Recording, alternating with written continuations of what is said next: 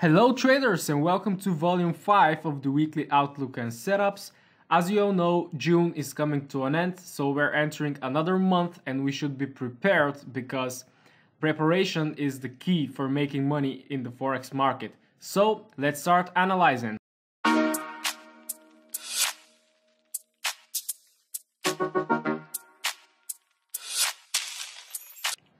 As always, we're starting with the US dollar currency index so I am on the monthly time frame right now because the monthly candle is about to close. We're having a very nice bearish engulf after two months of slowdown and we had this beautiful doji here spinning top and now we're going down. This is a monthly FIB setup perfectly at the 61.8% and I'm very very bearish on the US dollar for the moment, switching down to the weekly time frame, we had this massive bearish Marubozu. Now we're slowing down, but we're encountering this this support here, supportive zone or region. So we may have a little bit of a pullback before we continue back down. On the daily time frame, we can plot a fib like that. So I will wait for price to reach its mean value which corresponds to the 61.8% FIB and then I will be waiting for a break of this strong support area and then we can start looking for short opportunities and implementing the analysis into the other pairs. So bearish bias on the DXY but first we need some kind of pullback. Euro USD monthly time frame here we have similar price action to the DXY but in reverse as we can see, we have this long leg doji, then we have a spinning bottom, and now we're having a bullish engulf on the monthly time frame. So this immediately gives us the bias for the month ahead. So let's dig in deeper onto the weekly time frame. We had this bottom here at 1120. Then we had this massive bullish engulf, then return, then another bullish engulf, and now we're slowing down. So very, very similar to the DXY as they're kind of negatively correlated, but we're just, uh, the euro is comparing and uh, kind of competing to the USD. So the DXY will give you the direction of euro USD. So digging deeper, we have broken this um, higher high here, or I would say high because this was the first leg up. Then we had the correction and now we're having a higher high which indicates that we are currently switching to an uptrend. So we can even plot a fib from here, perfect 61.8 and bank reaching the 27% extension to the pip. So we're having uh, three days of slowdown. We're sitting on this supportive region here. So if I am to introduce another fib sequence like that, it actually corresponds again to the mean value of the 50 EMA and the trend line. So similar to the DXY, I will be waiting for a pullback to reach its mean value, to test the trend line in the Fibonacci region, and then we can look for long opportunities. Switching down to the 4 hourly, we can see that price is kind of consolidating or maybe distributing before having a leg down. So another confluence for the slowdown of the price action is the uh, 1.14 key level, uh, which kind of uh, was violated and then we returned back down immediately. So yeah, consolidation, if we wait for its break and retest, we can even have a very short-term opportunity if we break retest and we can write it down to the 61.8%. And yeah, that that's euro. I am long-term bullish bias, but for now I think that the pair is due to a pullback down to a fib level and the trend line. Our next pair is Aussie dollar, US dollar. I think this is a very interesting opportunity because I think we're having a reversal of the market right now. So starting to analyze, we first have this very strong support area on the monthly time frame, which corresponds to the 0.68 key round number in the market. So the first stop of the area was on 1st of January 2016 and since then we haven't reached the area and we were trending in an uptrend.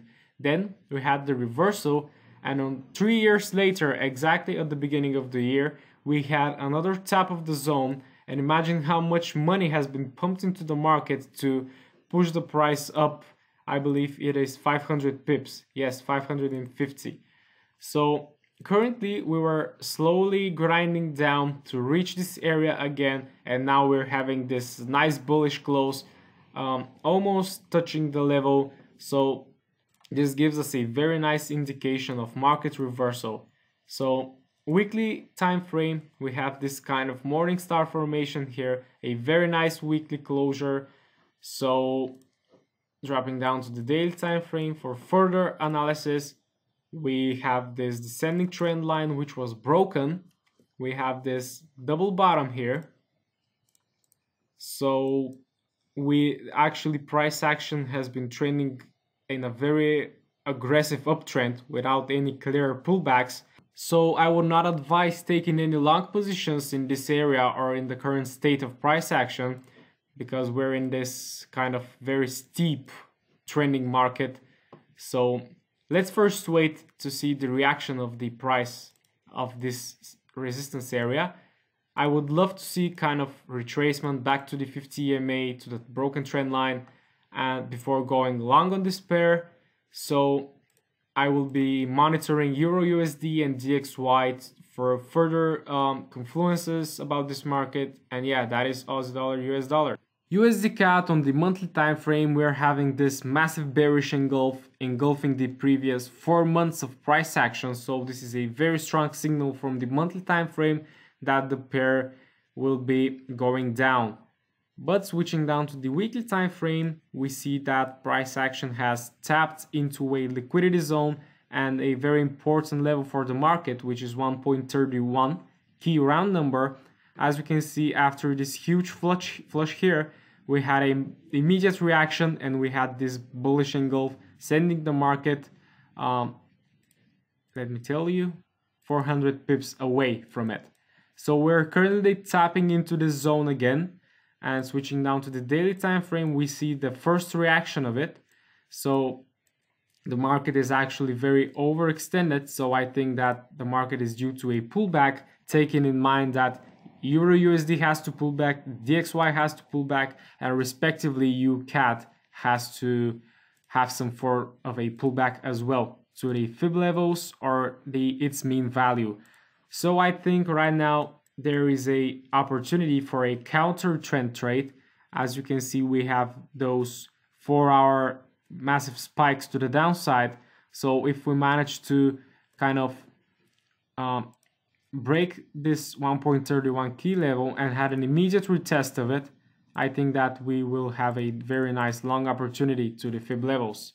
I hope the market plays out as expected and we will grab some nice pips on the up move of UCAD. Interesting price action on GBP USD. We had this descending trend line which was broken and now we are currently sitting at 1.25 um, kind of retesting the broken trend line. We're having our second top of the level, creating a double bottom, maybe on the weekly time frame. The monthly closure is a very nice spinning bottom. So after seeing this bearish candle slow down, we're now expecting a bullish candle for a morning star formation, which will send the price up. So weekly time frame, yep, we have this double bottom here. So um, bullish engulf, but I see that we're currently struggling to break of this region and we will dig deeper on the daily time frame. So let's plot the level from here. Very strong resistance area, which is actually the 2750 key level. So we're having kind of inverse head and shoulders movement here uh, choppy price action. So I will not advise any um, positions on the pair before we break 2750 and we retest it. Quick look on the 4 hourly choppy price action. We have this supportive region here. Kind of let's let's draw a zone like this. So if we manage to break below and retest, we will be having a short opportunity um, with targets 1.25. Or if we manage to break up and have a clear retest, then we will be heading up on GBP USD. finishing the analysis with an exotic pair, which is Euro New Zealand dollar.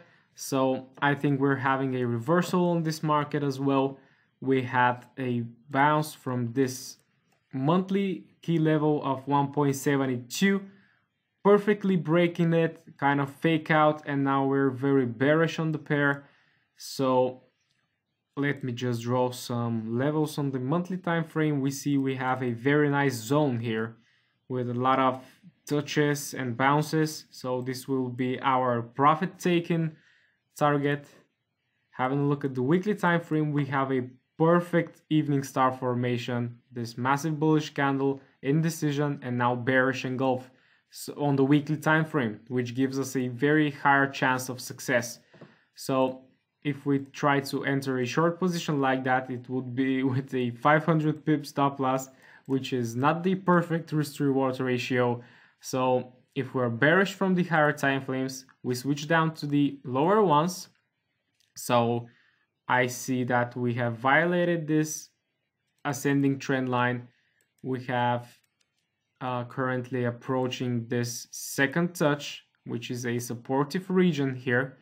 So in order to go short on the pair, we will, as always, we will have to see the pullback and we should have a nicer risk to reward ratio. So this is a potential zone for price uh, to pull back. So if we draw a fib level mm, from here maybe, yep, we have a confluence with the 50%. Even if we kind of have a deeper retracement to the trend line, it will be perfect for a short opportunity. So this is Euro New Zealand dollar. Let me have a quick look on New Zealand dollar, which is very, very overextended as well. So we should have a retracement here and a retracement here on Euro New Zealand. Perfect. So I will wrap up this analysis for today guys. I hope you catch some very nice pips next week. It's a beginning of a new month. Sum up your goals. How was your week? Sum up every single trade you took. I hope you are journaling your trades because it's very important that in the end of the month you go through every single pair and see what worked and what didn't. So I hope to hear from you, hear your feedback send me some messages on Instagram, here on YouTube. And thank you for watching up until now. Until next time.